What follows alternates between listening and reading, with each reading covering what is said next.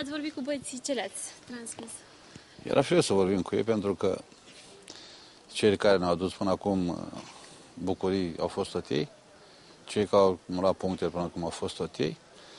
Să în același timp uh, nu își vine ușor să diger din punct de vedere ca și o înfrângere. Meciul de acasă e ca și o înfrângere. Nu e ușor pentru că veneam după două jocuri în care câștigasem maximum de puncte. Era firesc din punctul meu de vedere să le câștiga și pe cele de acasă.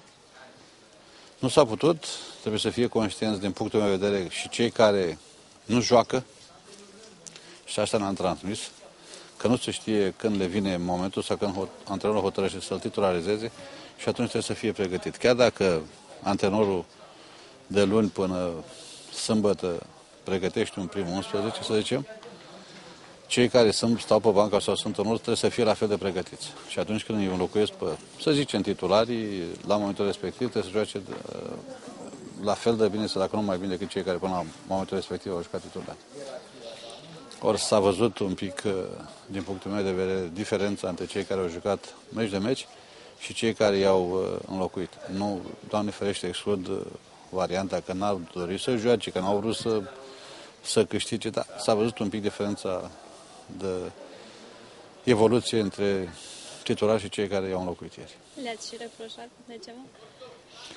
Nu e vorba de reproș. Noi, în familia noastră, întotdeauna trebuie să ne spunem lucrurile pe nume, că așa este normal, așa este bărbătește, așa este sportiv.